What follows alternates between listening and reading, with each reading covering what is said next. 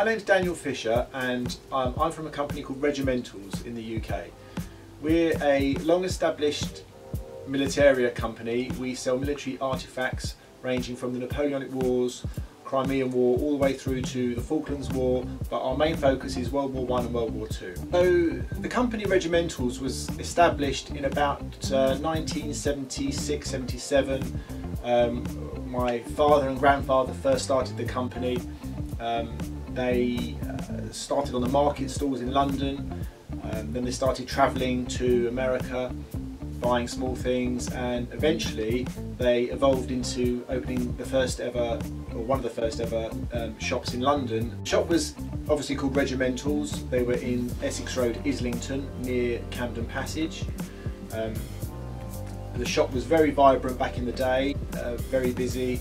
Many of you might remember uh, my grandfather Sid who used to work in the shop, um, a very friendly chap.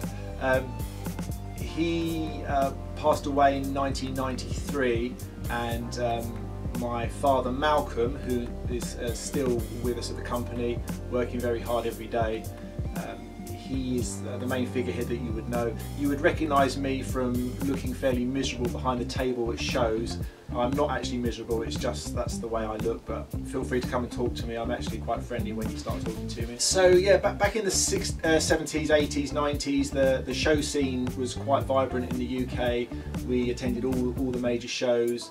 Over the years, um, with the use of the internet, uh, our website became very successful and the shop finally closed in um, 1999-2000 which was around the same time we launched the website.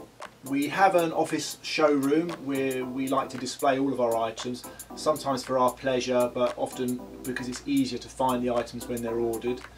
Um, we do have visitors to our premises but only long-standing customers that we've known for a very long time um, but you know, if you've been buying from us for years, we know who you are. Feel free to contact us, and uh, a visit to us is, is welcome anytime. Okay, so many of you uh, might be new customers of ours or uh, people that just come across who we are, but many of you will be our older customers um, who will remember Malcolm from um, a long, long time ago.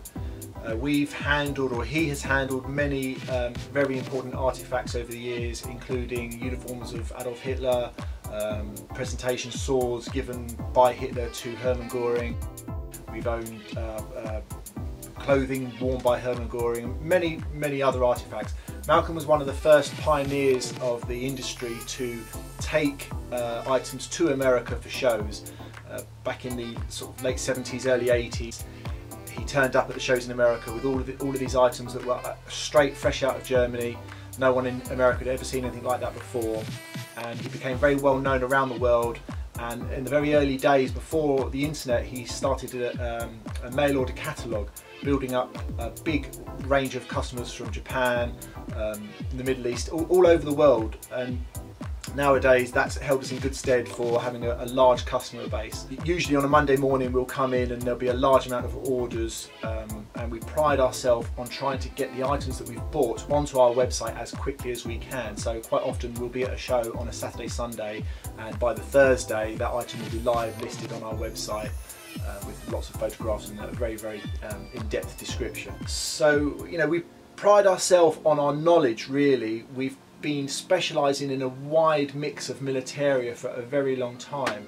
Um, we will we will buy and sell swords, um, insignia, helmets, artifacts of um, um history to do with paperwork, photograph albums, and having such a wide range of items to specialise in gives you a better chance to uh, sell your items to a wider selection of audience. You know, there's always something available that we have that a customer is going to want many many uh, military dealers tend to specialize nowadays in one specific subject and we found over the years that gives you a very very small uh, net uh, to cast into so my role at regimentals um, is often behind the scenes i do a lot of the uh, website work uploading the items a lot of the um, paperwork the invoicing correspondence emails uh, my knowledge in militaria is mainly focused on World War One and World War Two.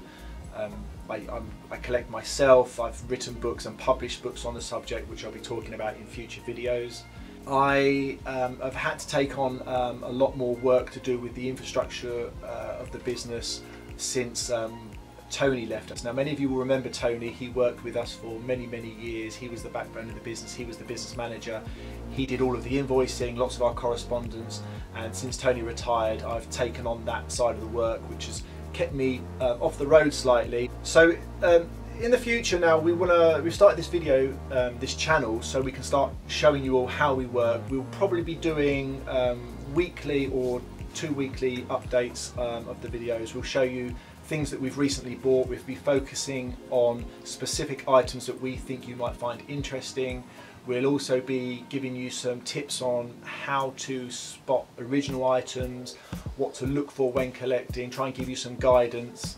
Um, and uh, yeah so we'll be going to America soon. We'll try and do a video from there do some live live videos maybe something like that.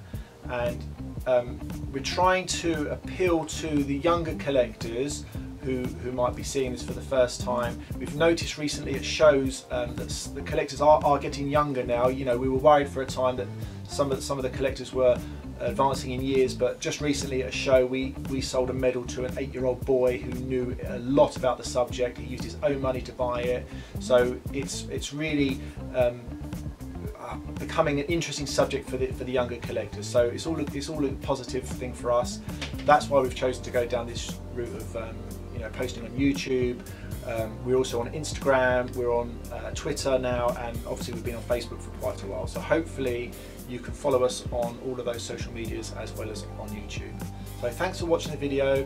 Um, I hope you enjoyed having a look around our office and we'll be back soon for another video.